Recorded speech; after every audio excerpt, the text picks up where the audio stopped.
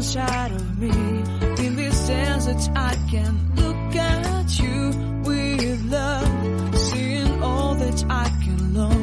नमस्कार मंडळी yummy dishes with Madhu या आपल्या यूट्यूब चॅनलवर मनापासून स्वागत नाश्त्याला रोज काय बनवावं हा मोठा प्रश्न गृहिणींसमोर पडलेला असतो रोज तेच तेच पोहे उपीट शिरा खाऊन पण कंटाळा येतो तर मग आता चला तर मंडळी आज आपण एक वेगळी रे रेसिपी बनवणार आहोत.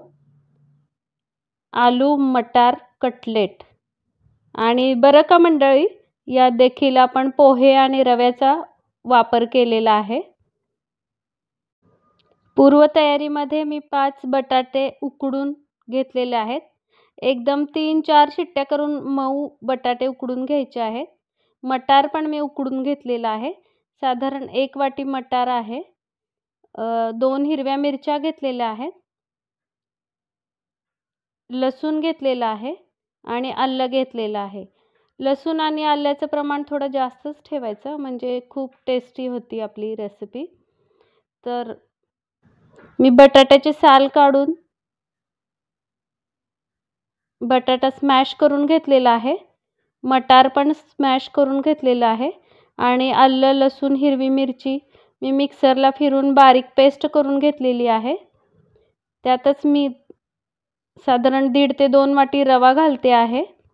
आणि दोन वाटी पोहे स्वच्छ धुवून भिजत ठेवलेले आहेत मी. आणि ते आता यात ॲड करत आहे. पोहे चांगले भिजवायचे मऊ म्हणजे आपले कटलेट छान होतात.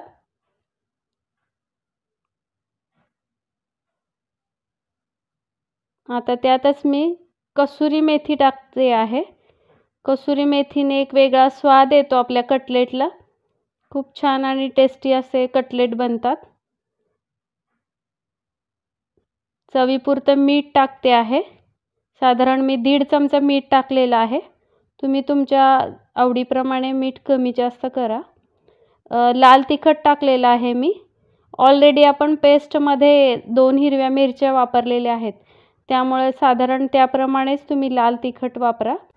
आता मी त्यात अर्धा चमचा हळद टाकून घेणार आहे. ओवा टाकणार आहे अर्धा चमचा. आणि लाल तिखट थोडं डार्क रंगाचंच घ्यायचं म्हणजे कटलेटला छान कलर येतो. आता मी हिंग टाकते साधारण दोन चिमूट. आता हे सगळं मिश्रण आपण छान मळून घेणार आहोत. यात पाणी वगैरे अजिबात काही टाकायचं नाही आहे कारण बटाटा आणि मिठाचं पाणी ऑलरेडी सुटतं. आणि जे आपण लसूण आलं मिरचीची पेस्ट केलेली असते त्याला पण साधारण छान पाणी सुटतं. त्यातच आपण हे छान मळून घेणार आहोत. हे जेवढं छान मिश्रण व्यवस्थित मळलं जाईल तेवढे कटलेट आपले क्रिस्पी होतात. तर व्यवस्थित छान मळून घ्यायचं आहे.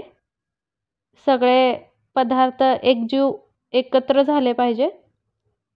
आणि मगच आपण कटलेट थापायला घ्यायचं आहे. मटार फार बारीक स्मॅश करायची नाही आहे साधारण अर्धवटच ती स्मॅश करायची आहे. जी कटलेटमध्ये छान उठून दिसेल. अशा प्रकारे मी छान मिश्रण एक गोळा तयार केलेला आहे. आपण कणिक कशी मळतो त्याप्रमाणे साधारण असा गोळा तयार झालेला आहे. आता एका बाऊलमध्ये छो थोडंसं पाणी घेऊन हाताला पाणी लावून छोटासा गोळा घेऊन तो थापून घ्यायचा आहे हातावरच. तुमच्या आवडीप्रमाणे जाड पातळ तुम्ही थापून घेऊ शकता. साधारण आपल्या आवडीप्रमाणे जाड पातळ असे कटलेट थापून घ्यायचे आहेत हातावरच.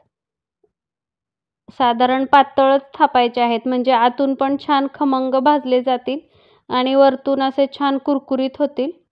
तर अशा प्रकारे मी छान कटलेट बनवून घेतलेले आहेत. आणि जे आपल्याला शॅलो फ्राय करायचे आहेत. तुम्हाला हवं तर तुम्ही तळू पण शकता. तळल्यावर ते छान कुरकुरीत होतात. पण मी डाएट फॉलो करते. त्यामुळं मी शॅलो फ्राय करणार आहे. त्यासाठी मी तव्यात तेल घेतलेलं आहे. आणि मंद गॅसवर आपल्याला टिक्की ह्या भाजून घ्यायच्या आहेत.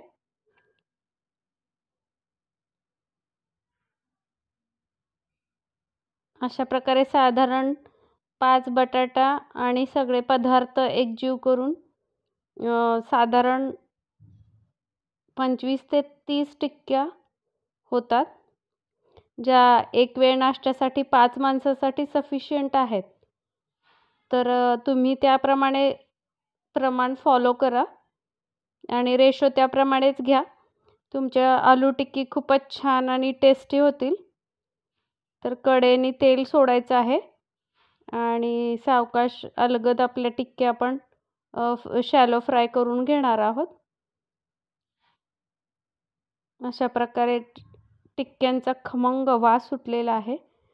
तर एक एक करून आपण दुसरी साईड पण भाजून घेणार आहोत.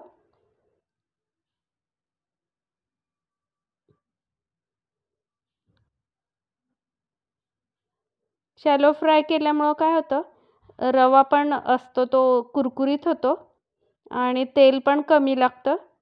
तर नाश्ता क केल्याचा आनंद प्लस डाएट फॉलो केल्याचं पण आनंद. असा आनंद द्विगुणित होतो. सो तुम्ही देखील हा नाश्ता ट्राय करा. हिरवी चटणी सॉसबरोबर सर्व करा.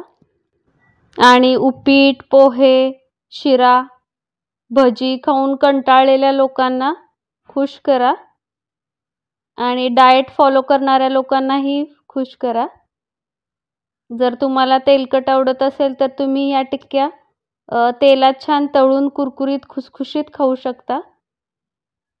तर चला तर मंडळी परत भेटू एका नवीन रेसिपीसह आपल्या यूट्यूब चॅनलवर नमस्कार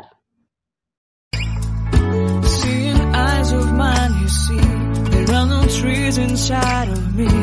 In this desert, I can